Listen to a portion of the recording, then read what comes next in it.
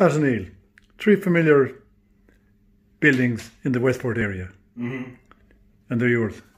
They are. Um, What do you call them? uh, I, I use pen and ink, which Pen is the ink. old ink well and a nib. There's no other materials involved other than the paper I draw onto. So and pencil. So there's pencil in there. yeah. And how did you get into this?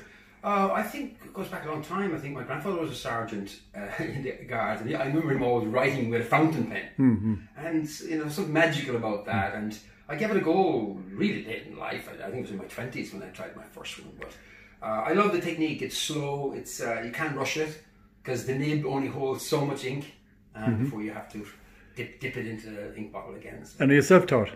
yeah. Because they're very realistic. They're like photographs, actually. Yeah. Um, that yeah, that, that type of a pro- uh, technique. Um, I don't know. It lifts the painting, which is quite useful because there's no other color involved. You know, it's just black, black ink, bank, black writing ink, and pencil.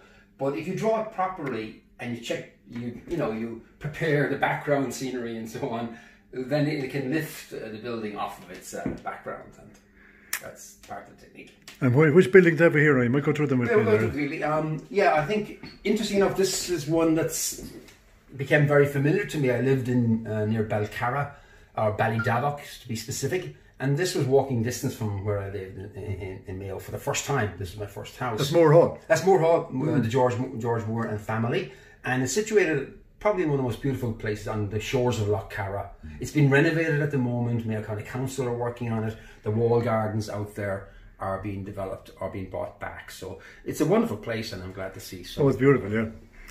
And uh, I mean, the, the Moore Hall is a wreck now. there's no roof. And how did you manage to get the detail into it? Did you, did you, did I you did use your imagination? I, had I have an imagination, but it's not that good. But uh, no, I would do research. Uh, unlike the other two, they're they're already there. Hmm. Um, the house itself, in terms of physical structure, there, Ollie, is is there. Yeah, the shell is there, yeah. Yeah, the roof is gone. And There's a lot of growth inside.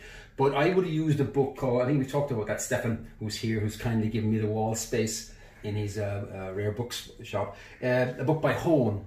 Uh, it's called The Moores of Moore Hall, mm-hmm. and it has one not very clear photograph in it. At least give me a reference point. Okay. that, yeah. So now we move over to Newport House. Yes, absolutely. A place we, I think we all we all pretty much We're all familiar with that. yeah. Famous as a fishing lodge, but also from a very important visitor, Princess Grace would stay there. Um, it is a gorgeously built home, uh, quite proportional, which a lot of these buildings are. They're really proportionate buildings. Uh, this has uh, kind of bay shape or bell windows here. You can see them there.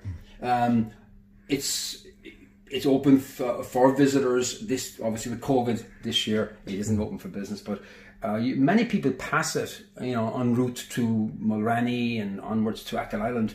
Um, but you almost have to slow down before you get to the bridge and look across the river, and there she sits. It's a beautiful, it's a beautiful house. So that was the home of the O'Donnells. That's correct. They were landlords down that area, Mm-hmm. down Newport. Mm-hmm. I mm-hmm. rely on you, Ollie, for the historical pieces of this. I just draw them. Yeah. Actually, can I just say, say something? My, I drew these in the States. I must have been getting kind of sentimental for Mayo mm-hmm. or something. But my two kids were young, and I gave them the nib, and they're in there in that drawing. they They drew themselves in. they put bits in. You're like a Where's Waldo? Yeah, yeah, yeah, yeah. and then this is the Mall in Westport. Probably the, the more well known of all places here because you, it's Westport, it's the Mall, a beautifully uh, designed Mall. Um, that is the Railway House Hotel, and I stayed there as when we came back from Belgium. Uh, Warren, you know, and stayed there for his first six months. So he became very familiar, and I loved it there. It was a really old world, and you can imagine there these little carriages coming down from the station, dropping their guests in the doors on the on the edge of the mall and right in the heart of Westport. That must have been a wonderful era, and uh, lots of good. I have lots of good memories about that. And I think if we stood there today, that building has not been changed that much. No, no, it's the same. It's it's, it's great, and uh, Mayo has done quite well. Uh, so would- this one obviously is a private ownership. and This is now private. This is the public one, um, which is Mayo County Council. So these prints are for sale. They are, and what we've done with Stefan has agreed some sizes. These are about eight three, I think is the term here. Display first, but obviously that size, if people wanted them that big, um, that would be nice. But generally, initially we're putting out uh, the A4, the A4s, which is like a standard frame size. So um, these have been. So just show you in relation to the the one on the wall, the Yeah. differences in sizes there. Um, this comes packaged with the mounting board. It's signed by me. It's marked the Mall, and we um, put it together in cellophane. So that's ready to get in the shop. You know, if people if people want that. Everybody, I think, Ollie, there has their own connection to some, not to maybe all three, um, but certainly to one of these places. And uh, I also agree with Stefan that if people want the set, the three, that we will reduce it. So it's forty euros individually in that format. And then if, if they want to buy the three instead of 120, we're going to sell it at 100 for the three. That All, all sounds, packaged up, you know. that sounds like a fair deal. Yeah, I mean, for Mayo, for Mayo people abroad, or you know, as we look towards Christmas very quickly now, um, you know, gifts for people abroad uh, might be an option. A set, I think, I like uh, the idea that three on a wall, the same size, and have a common theme, uh, drawn by the same artist. Do you plan to do any more? Yeah, Achill, Achill, I'm under pressure now that I live in Achill. When people saw these, the first thing was, well, when are you going to do Achill? Yeah, we get some nice ones down there now. Yeah. Oh, should. And I'll rely maybe on people like yourself to help me uh, select it. But just to let people know, it's just a small kind of a token, uh, token gift to them. We did make up a postcard uh, of the three drawings. Okay, yeah. These little very nice, postcards.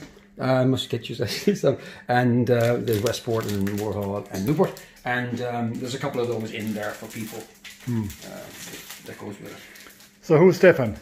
Stefan, I'm not sure actually. He's got, someone said he runs this business, but Yeah. I walk He has a bookshop and. Uh, well, this is him. This is Stefan here. Who is Stefan?